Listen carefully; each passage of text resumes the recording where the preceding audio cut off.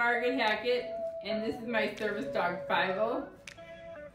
And um, I have Chiari, Syringomyelia, and hydrocephalus.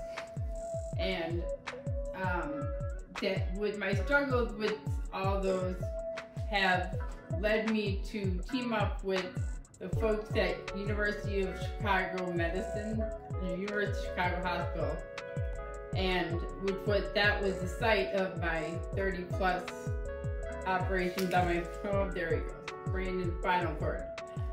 And so together we have formed the Margaret Hackett Family Center which is a nonprofit organization set up to fund research into these diseases and as well as um, provide uh, open up lines of support and hopefully provide resources for all these people um, who suffer from these congenital anomalies.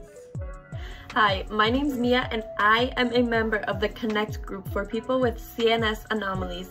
We are currently looking for new members, so if you or someone you know, someone you love has a CNS anomaly and are looking to get support, whether that be from your peers, from people that are just like you, housing assistance, uh, anything.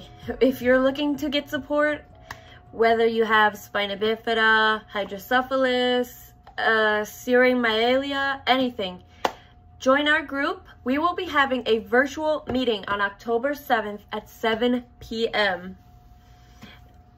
Join us. like I said, we're looking for new members. Anyone is welcome.